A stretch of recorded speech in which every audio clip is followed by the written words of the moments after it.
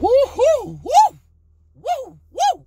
Yeah, guys, that was that that was my reaction this morning. I was so excited when I tuned into the the big derby between Borussia Dortmund and Schalke, man. In a match where Dortmund spanked Schalke four goals to nil. I actually wasn't surprised by the result because Dortmund looked the, you know, the, the better of the two teams on the day. They look like the team that was like picking up where they left off, while Schalke also looks like they picked up where they left off because they weren't doing good before the break. But Dortmund, despite their loss in the second leg of the Champions League round of 16 to PSG, they were doing really, really well in the Bundesliga. So they get things running with a 4-0 thrashing of Schalke. They're very, very, very, very, very, very noisy neighbors.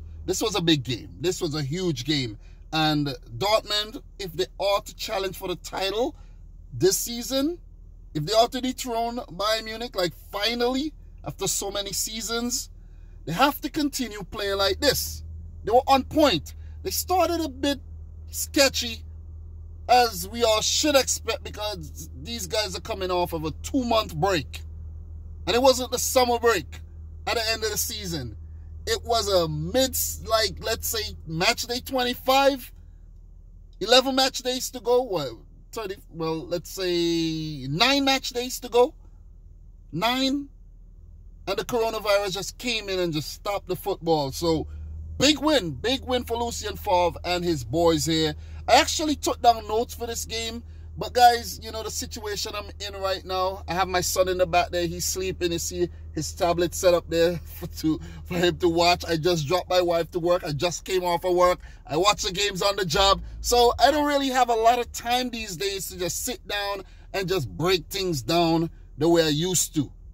Tomorrow, however, I can do that. I want to do everything in a live stream, but I'm so excited today, man. I'm so excited today that football is back and I got to see Borussia Dortmund thrash Schalke.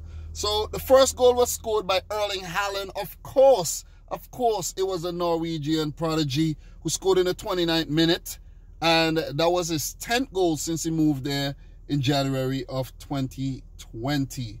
I can't remember the exact details of all the goals, but it was a very, very cheeky goal. I think it was set up by it was set up by Thorgan Hazard, if I'm not mistaken. A flick on by Brandt and Hazard to with with the with the square ball to Haaland for the tap in. The second goal was scored by Rafa Guerreiro in the 45th minute. That was a really, really nice goal as well. That was set up by, I think that was set up by Brandt, if I'm not mistaken. And then Hazard with the goal set up by Brandt definitely by Brandt. Haaland was fouled in the build-up. It was a, a, a goal on the, the counter. They were on the break and they caught Schalke sleeping once again. And Brandt just passed it nicely to Hazard, who smashed it past Schubert, who was in goal. Fourth goal was scored by Rafa Guerreiro. Really, really nice link-up play between himself and Erling Haaland. And Rafa Guerreiro with a cheeky, cheeky left-footed shot it was, you know, in his path for him to hit it with his right, but he just used the left, like the outside of the left foot, and uh, bend it past Schubert. That was really, really tricky. It was very, very exciting to, to, to, to, to watch this match, and I don't usually watch the Bundesliga. I'm a Premier League fan, but any football will do right about now. So thank you very much to the Bundesliga. How do you say thank you in German? Danke? Thank you, thank you, thank you. Danke, danke, danke. I'm excited, man. I'm excited. We have football back, but David Wagner and Schalke, they have a lot of work to do. Weston McKennie, the American, he was one of the best players on the day for Schalke, playing a defensive midfield role. He he had a lot to do. Salif Sane, back from a long-term injury. He made a few mistakes here and there, but he looks solid, you know what I'm saying? But all in all, Schalke has a lot of work to do.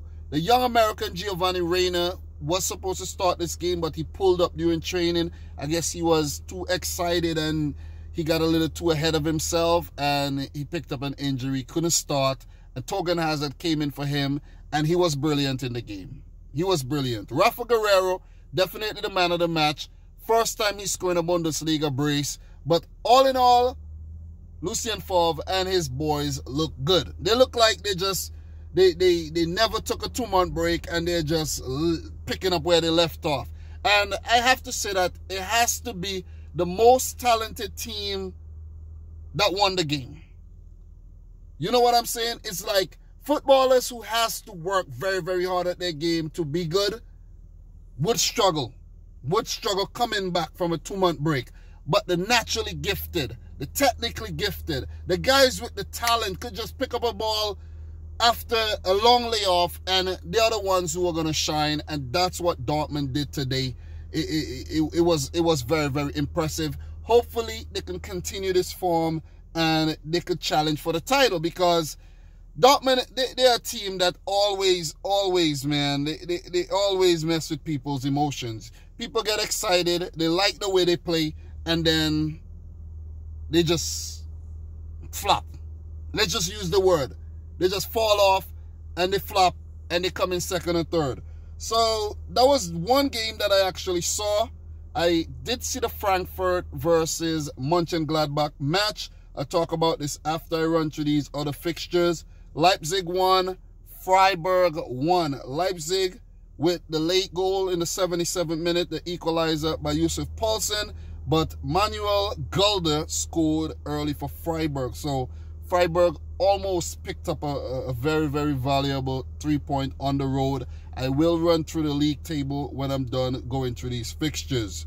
Hoffenheim lost three goals to nil at home to Hertha Berlin.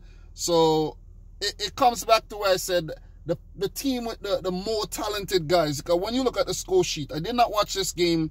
You see Matheus Cunha, former RB Leipzig player, and he's the Brazilian and he's very, very gifted.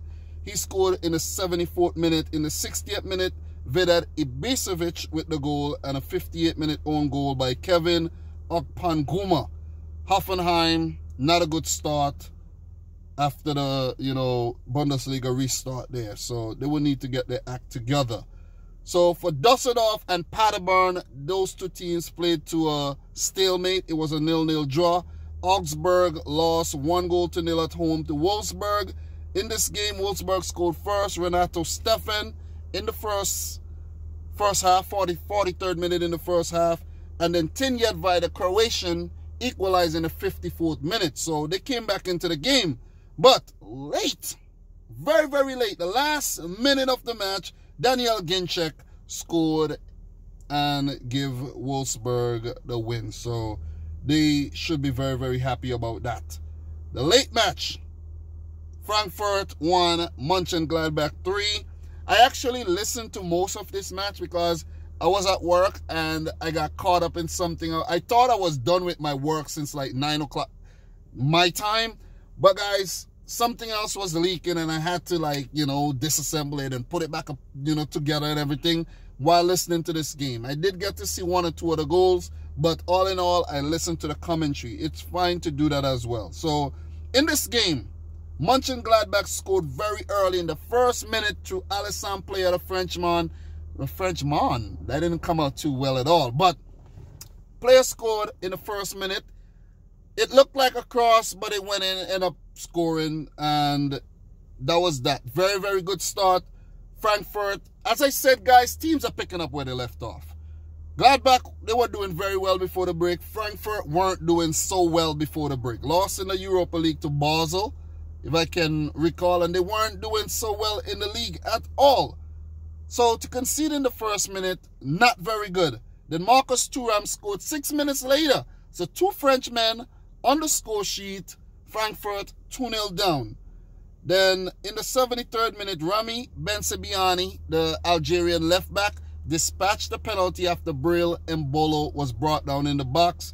And Andre Silva, the Portuguese forward, came on as a substitute to pick up a consolation goal for Frankfurt.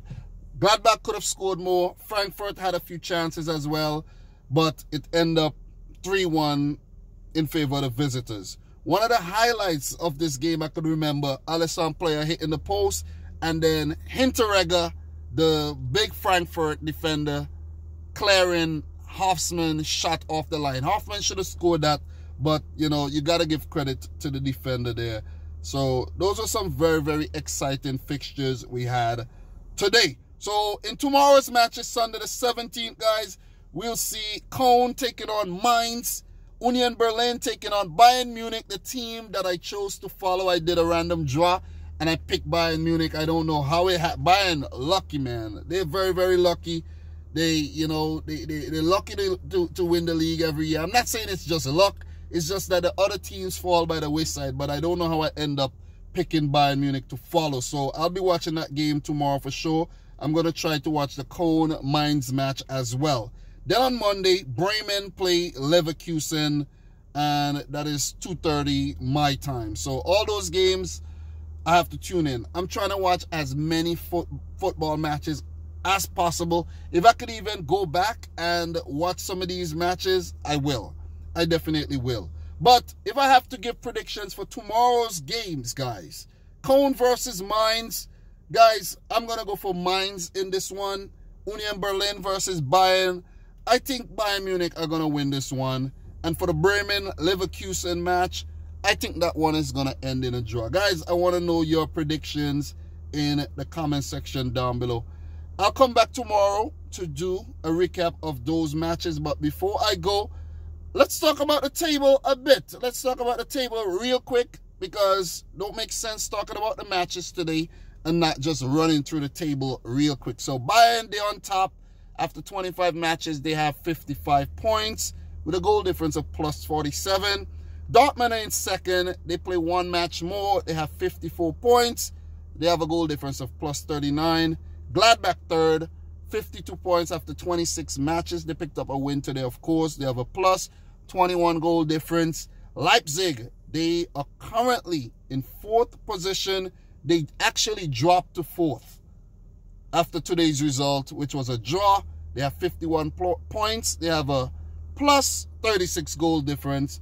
Wolfsburg, they actually go up in the table today and they are in sixth on 39 points with a plus five goal difference. Well, well, I actually just skipped Leverkusen. Leverkusen are fifth, guys. Wolfsburg are sixth. oh my goodness. So let me do that over. Leverkusen fifth, 47 points after 25 matches. And in sixth, Wolfsburg, after 26 matches, they have 39 points. So there's a big gap there, an eight point gap between fifth and sixth. Freiburg, they're seven. They have been quite impressive. They're just outside a Europa League spot there. And they, after 26 matches, they have 37 points. So they're doing pretty well. Schalke, who dropped a lot today. They're currently eighth in the table, 26 matches, 37 points. Hoffenheim, they they didn't move. They're 26 after they're actually ninth, 26 matches, 35 matches played. Guys, you can tell I haven't re I haven't done a match review in so long. I'm a bit rusty. Conan 10th, 25 matches, 32 points. Union, no, not Union Berlin. Hertha Berlin, they're in 11th, 31 points after 26 matches. And, okay, I actually pressed something there, but I'll go back. All right, bear with me, guys. Bear with me. But in 12th is Union Berlin. I'm looking forward for the Berlin Derby. I think that one is coming up pretty soon. I think it, it is, right? It's coming up pretty soon. That's That will be one to watch. They're actually 12th on 30 points after 25 matches. Frankfurt 13th, 28 match, 28 points after 25 matches. Augsburg 14th, 26 matches, 27 points. And Mainz, they're actually 15th, 25 matches, 26 points. And in the relegation spots, Dusseldorf in the playoff spot, 23 points after 26 matches. Bremen, 17th, 18 points after 24 games. They have actually a couple games to catch up on. And Paderborn at the bottom, 17 points, 26 matches.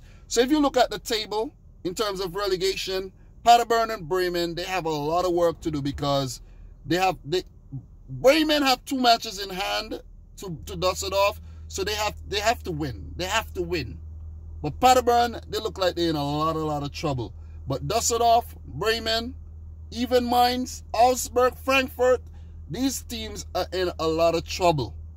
Definitely. Union Berlin, I think they recently got promoted. They're doing pretty well to be in 12th position on 30 points. Hertha, Cologne, Cologne who just came up. These teams are pretty safe. Hoffenheim, pretty safe in my opinion. At the top, guys. At the top.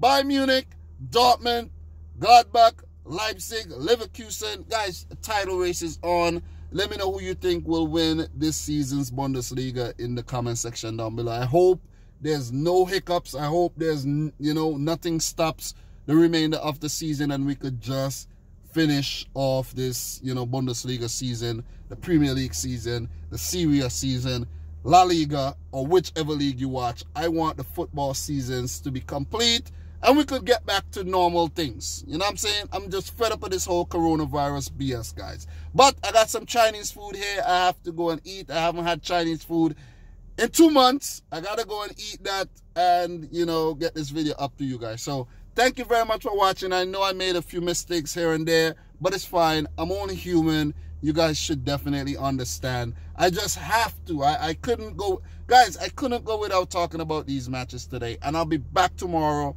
and I'll be back Monday to do some more. So, I'm your boy Dominic Rich. If you're new around here, consider hitting the subscribe button. Smash the thumbs up button. Let me know your thoughts in the comment section down below. Guys, check out cardsplug.com slash Dominic Rich FC to get yourself one of those lovely cards over there. Use the coupon code Dominic Rich FC to get yourself 15% off your order. Trust me, you will never regret getting one of those cards. So, from your boy Dominic Rich, until next time, peace out. Rich Squad. Damn, 17 minutes. I think I did okay. I think I did okay. But I'll get better.